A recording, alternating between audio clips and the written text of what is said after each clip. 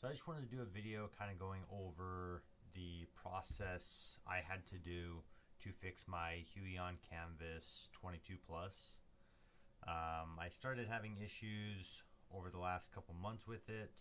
I've had it for just over four years or just under four years now. And yeah, I just started having issues, so I thought maybe it was a driver. So I checked all the drivers, uh, those were all up to date both on my tablet and my PC. So I thought maybe it could be the cable. So with this, it usually comes with the 3-in-1 plus a UBC, USB-C cable.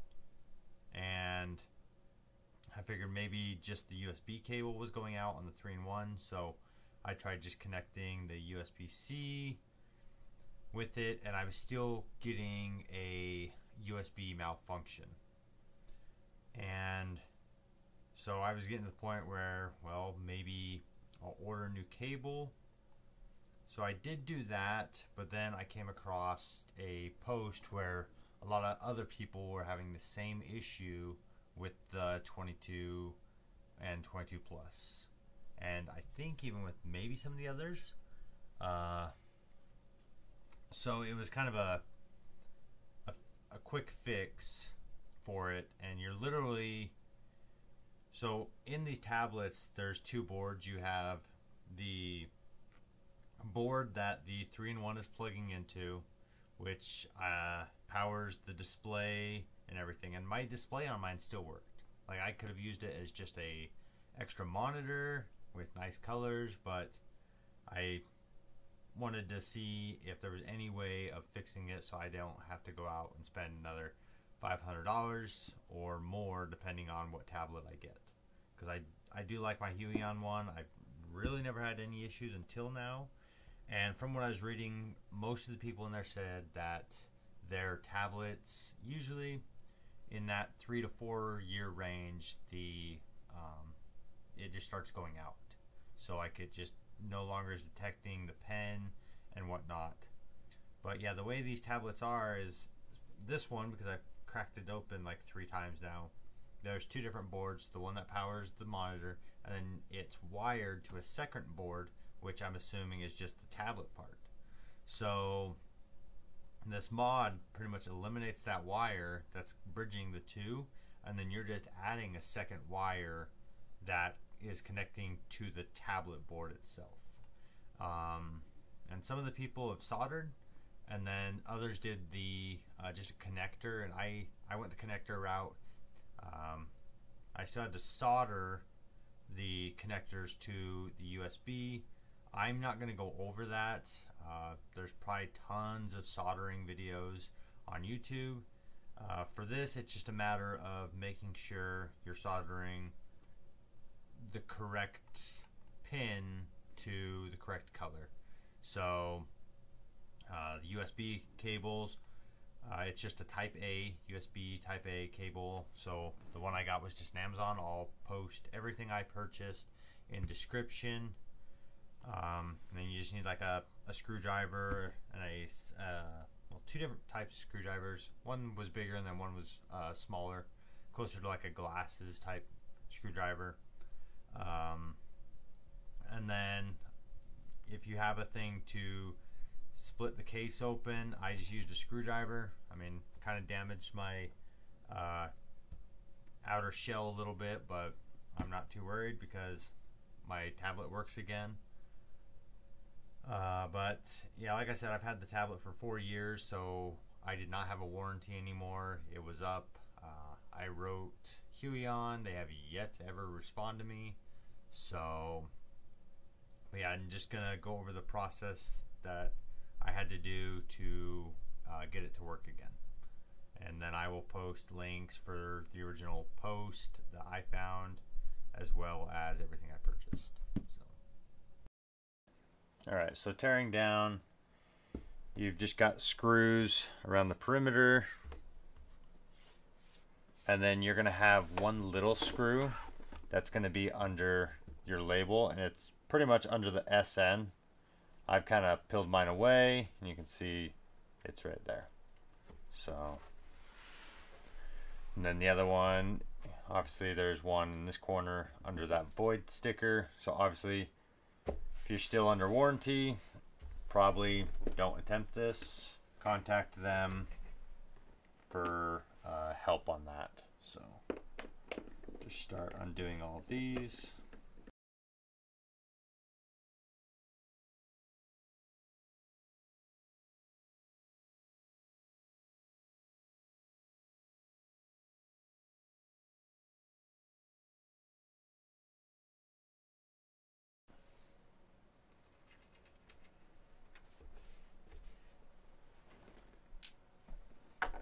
Okay, and then obviously, like most electronics, it is clipped.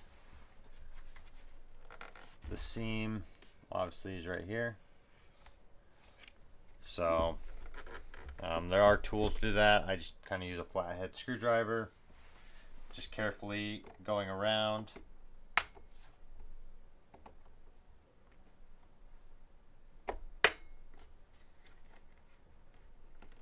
Popping it up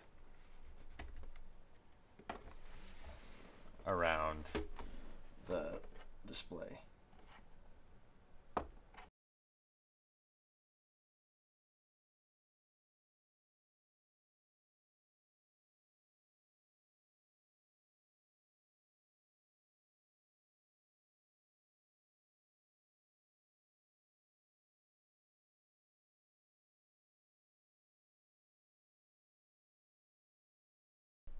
Okay. Right. Actually broke that one, so yeah, do be careful when pulling that off. Right. So that back piece is off. So now you will have that. So when mine first started happening, I thought it was just one of the connectors, but the solders on those are good. So, um, other people have figured out it was this cable. So what they do is they just remove this cable, and then you will just replace with the uh, USB cable with uh, a new end to it. So we just need to pull these out.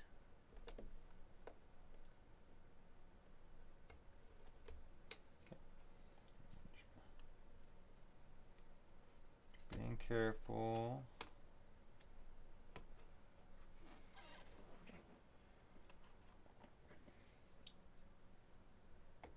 And this one, it looks like it does have like a glue. This one kind of had a piece of tape on it.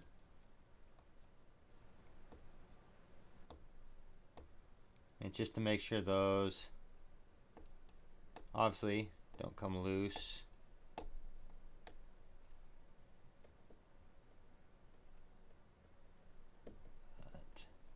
A little wiggling, and that came out. Okay. Do remember what way this is facing. So yeah, you're gonna have your red, black, white, green, and a bigger black. So that is done like that.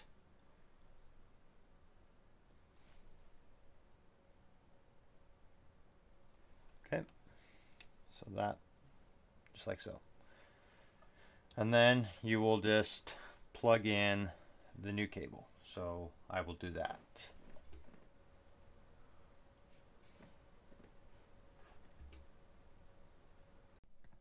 Okay, so you have the cable that connected to these two boards, and it's just um, this side's four, this side's five, but you're only going to use the four on this because I think this was just splitting the ground to ground the two boards together.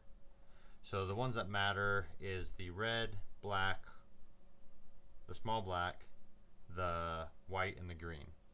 So what I did is I took the, I just took a USB cable, a USB type A cable, regular USB to uh, the smaller USB, and I just soldered on two JST connectors.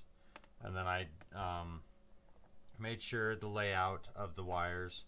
So, you know, red's the furthest this way, then the, the black, the white, and the green. And those will match the same colors as the wires that are in the USB cable already. So I just soldered those up to those. And then on these clips, they had these little side pieces. And I just kind of clipped those off and then sanded these because it is kind of a tight fit. So yeah, I just sanded all of that stuff away. Um, unplug that wire. And then you could just solder to the board, but I'm doing connectors. That way I don't mess anything up, even though I don't have a warranty on it anymore, so but yeah, so even with this cable, you're still going to need your 3-in-1 cable for your power and the HDMI. So we'll just unplug that really quick. But um, yeah, so we'll just plug these in to how this wire was originally. So red furthest, green.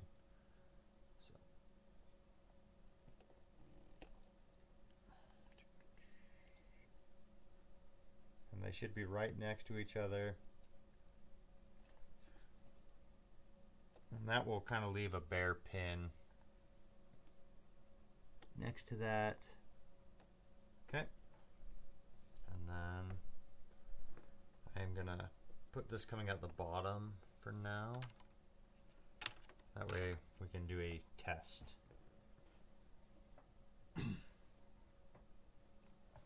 so let's open up a software really quick.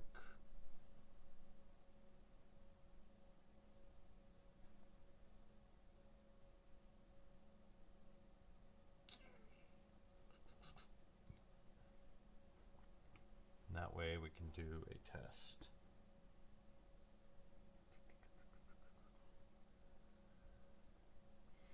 Then the next thing is just figuring out where you want this cable coming out. I'm probably going to um, carve a hole out somewhere over here.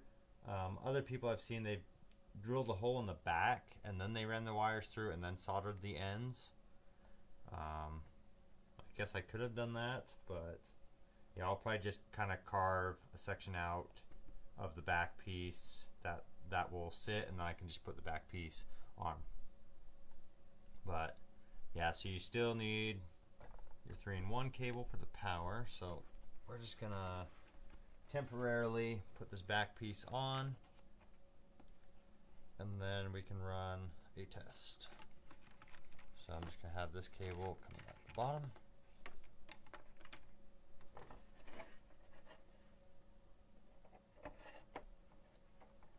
And I'm just going to clip this one side probably. Just so I can put the power cable through it. So.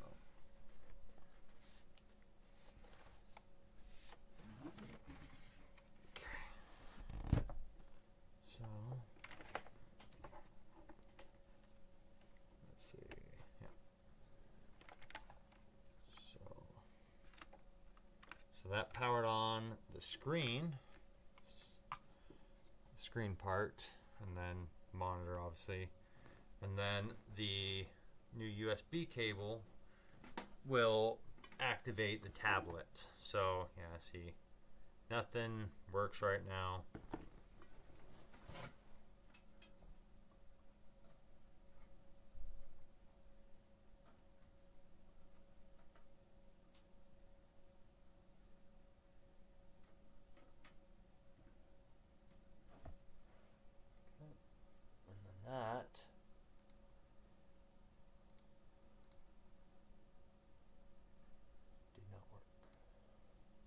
There we go. So now, just took a little minute to read. Oh.